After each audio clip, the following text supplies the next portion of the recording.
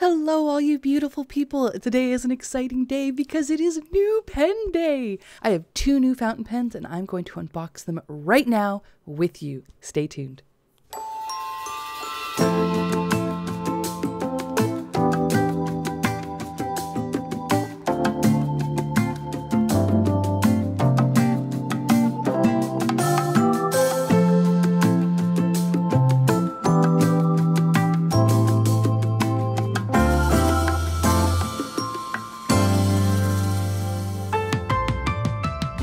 Welcome back, all you lovely people. It is so good to have you here.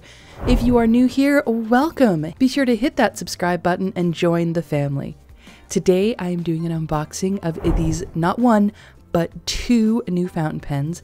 They are the big rewards for my accomplishments during NaNoWriMo. If you don't know what NaNoWriMo is, you can click the tag at the top of the screen here, and it will take you to my playlist of the setup of my bullet journal in preparation of Nano, as well as the vlog that I put up at the end of Nano. Today isn't about Nano, today is about pens. So let's open these beauties up. I'm so excited. The first one is a Sailor. This is a Pro Gear Slim. The second is a Laban. This is my first Laban, and I am so excited. I'm gonna open this one first because I, I can't wait. Yep, I'm gonna do it. Okay. This is the Laban Rosa in lilac. It is so beautiful. Oh my gosh, it's just as pretty as I thought it would be. Okay, uh, bright orange bookmark. And we checked the box because last time I didn't. And apparently I'm not missing anything this time. Uh, okay, this is my guarantee. The Okay, so I can deal with that all later. Let's put all these back in the box. right, right, it slides. I know things. Ah, look at this beauty. I don't know if it's going to show up, but this is a purple and green resin, and there are like, I don't even know how to describe it, but it's got all these like great layers and depths to it. It looks like there's chunks of leaves or something. I mean, there's not. It's just like an illusion. But look at the way the light hits all these different pieces. It's so pretty. All right, and I've seen people do this. It is one full turn and a half to get the cap off. Look at this nib, guys. It is like a gold and steel. It's a steel nib, but it's plated. And look at that beautiful L. I got this in a bold because I knew I was going to want to use lots of shimmery, shiny inks in this pen. Look at how the light reflects off of this resin. It is stunning. And I love the gold rings and the really beautiful finials that match the body. This, oh my dear, look at this. This is pure luxury. I am so, so happy with this pen. And the cartridge, it has a converter with Laban printed right on it.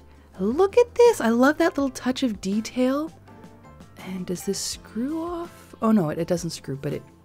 Um, so yeah, there's the the converter, and I love those brass uh, threads there. That's super shiny and pretty. Means I can't eyedropper this because I was told you can only do that if it's a plastic body, but I have no intention of doing that anyway. Uh, no, I don't think I'll write with this post-it. It makes it a little awkward. The cap doesn't sit really, really tight on the back. I will probably use this unposted. But, I mean, it's postable. So that is the Laban Rosa. Oh, guys. My, uh, I love this. I can't wait to write with it. Okay, so now we're opening up our Sailor. This is the Sailor Pro Gear Slim. It is like a bluish color. I like the purple finials on this. That's why I got it because I like that teal blue and the purple. This is in a 21 karat gold nib. I've never tried a gold nib before. I mean, you guys know what I've done because everything except my Duke Sapphire has been opened on this channel.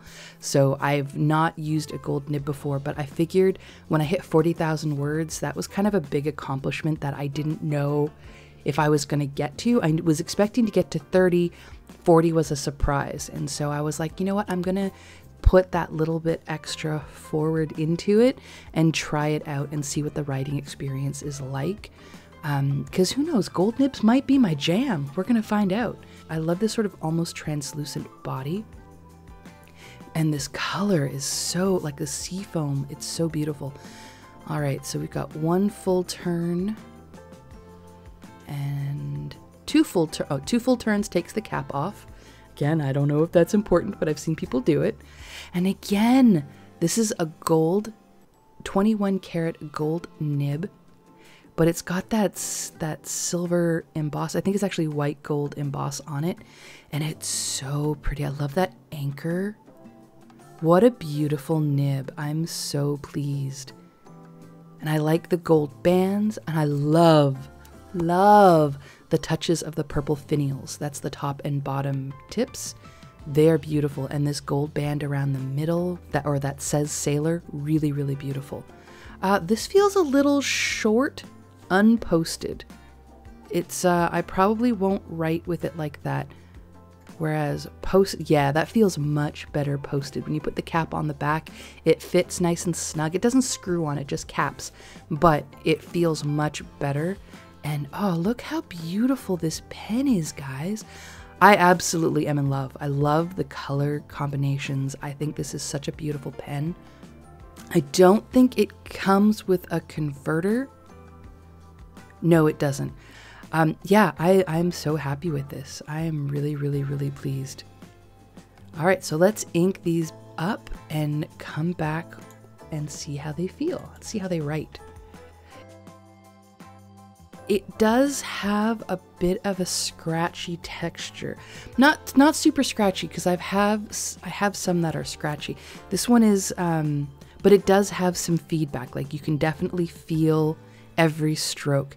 Not quite as much as writing with a pencil, but it does have some feedback. I am feeling the paper through the pen. Like I like the size of how it writes. This is nice. It feels good. And she's just beautiful. I'm so happy with this pen. All right. Uh, the Laban Rosa I have inked up with the Ferris Wheel Press Jade Rabbit. This is a very light purple with a lot of shimmer, a lot of silver shimmer. Oh my goodness, look at how juicy this nib is. It is still wet. It is so wet. This just glides across the page like silk. Oh my goodness.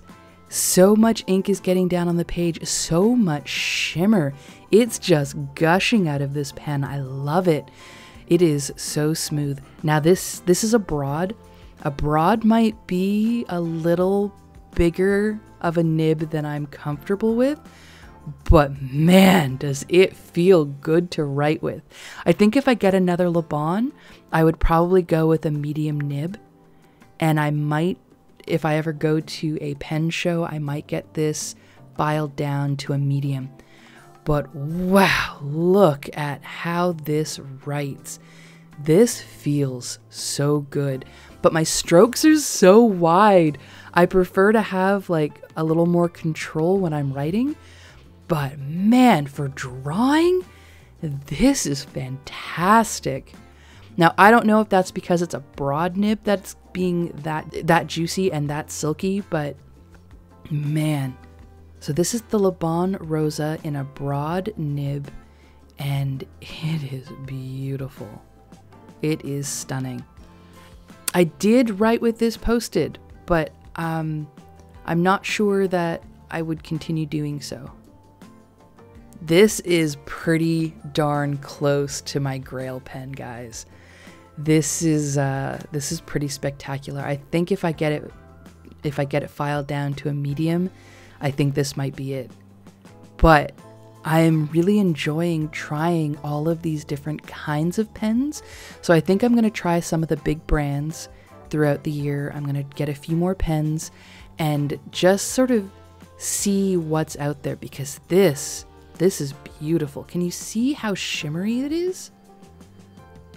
So those are my two newest additions to my pen collection, the Laban Rosa and the Sailor Pro Gear Slim. They are both stunning pens. They are both fantastic, and I'm super excited to continue my exploration of fountain pens. Thank you so much for coming along with me. If you enjoyed this video, please be sure to give it a like and drop down in the comments below. Let me know what your current grail pen is. I want to hear it. Love you guys so much, and I'll see you in the next one. Bye!